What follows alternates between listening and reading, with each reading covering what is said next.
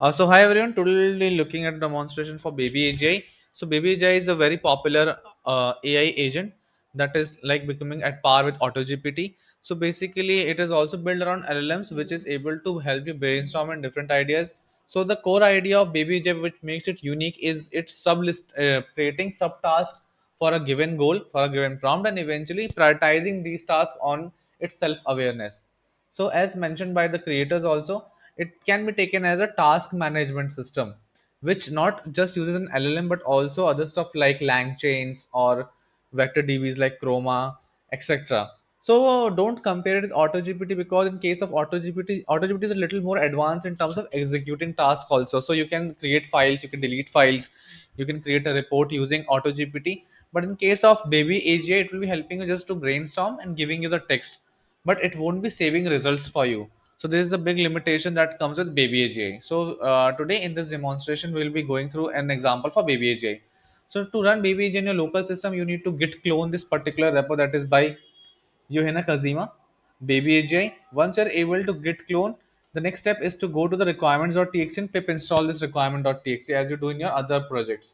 Now, once you're able to do this, the third step is to go to this dot n example file as you can see in the pack uh, in the library and eventually create a copy of this git, uh, git file on this git repo with the name n.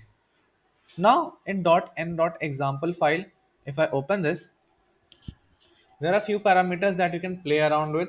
So here you can see that uh, the first parameter that you need to definitely change is openai api key. You need to provide it here. Second is you can play around with the model also which model you wish to use but the default is gpt 3.5 turbo. The most important one being objective what objective you want a baby AGI to go for so uh, in the default it is solve world hunger so the uh, demonstration that we would be running would be on how to end corruption in the world Right. Now here one more parameter is initial task. As you can see that develop a task list. So it would be able, it would be dividing the solve world hunger problem into multiple subtasks.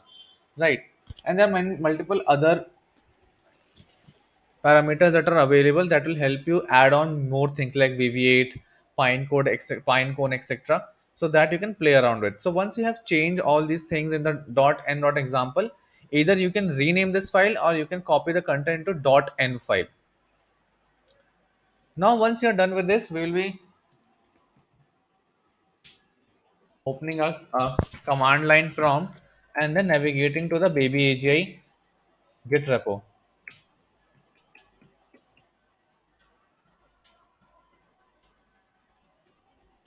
Now, once you have navigated to the baby API Git, Git repo, you just need to run this particular file, python babyagi.py. That's it. And then we will see the magic. So you can see the baby has started. The objective is end corruption from the world. The initial task develop a task list, and then eventually you will see a task list also being generated by Baby AGI for this particular objective. See, it is able to create a task list of 20 tasks, conduct a comprehensive analysis of existing anti-corruption laws, develop something. So eventually, what is happening?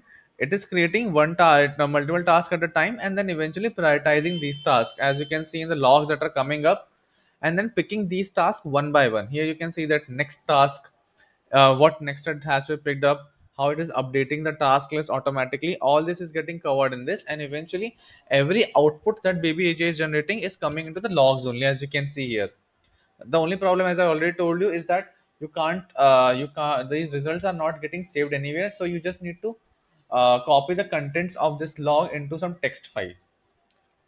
Uh, one more limitation that you will observe while running Baby AGI is that it is a never-ending process. So eventually, given a uh, given an objective, it will always create new tasks and then keep on running infinitely until unless you don't stop it. So eventually, uh, these are two major problems. One, it is not able to save any results. Second is uh, it doesn't end on its own.